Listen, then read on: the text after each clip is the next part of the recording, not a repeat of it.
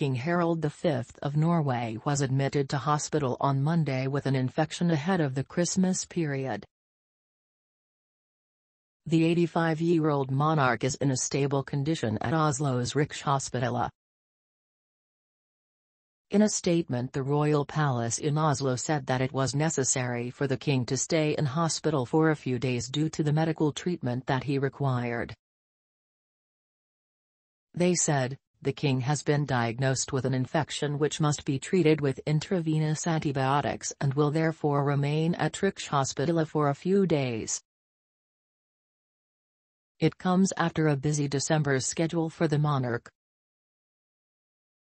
his most recent public appearance was on December 13 for a pre-Christmas church service at Oslo Cathedral. It came a day after the king inaugurated the double-track express train line between Oslo and Ski.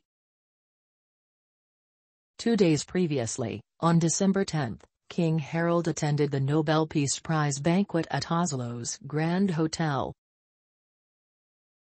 Despite his recent busy schedule, the monarch has been requiring the support of walking canes during public appearances. In recent years, the king, who acceded to the throne in January 1991, has faced a number of health battles. The king underwent surgery for bladder cancer in 2003 and another operation for a heart valve problem in 2005. In January, he underwent a leg operation and he tested positive for COVID-19 in March.